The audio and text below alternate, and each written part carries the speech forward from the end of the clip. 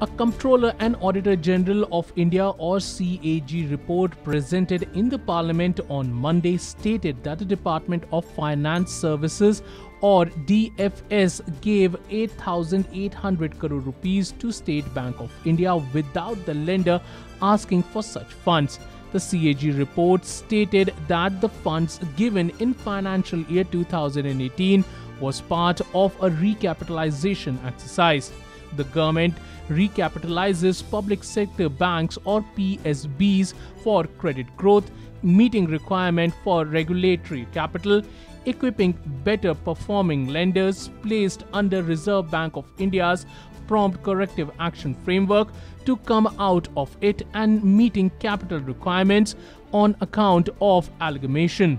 According to report, the department under the finance ministry did not conduct an assessment of the capital requirement, which is its own standard practice before recapitalization.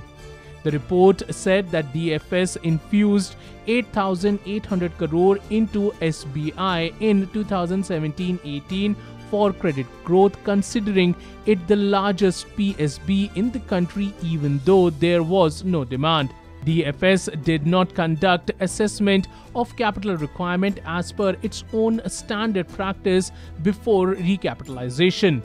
DFS also considered a cushion over and above the norm prescribed by the RBI while recapitalizing PSBs. The CAG report stated that RBI had already prescribed enhanced capital requirement of additional 1% on Indian banks resulting in an excess infusion of 7781.81 crore rupees. It also said that the department infused 831 crore rupees into the Bank of Maharashtra in 2019-20 against the bank's demand of 798 crore rupees to avoid surrender of funds worth 33 crore rupees.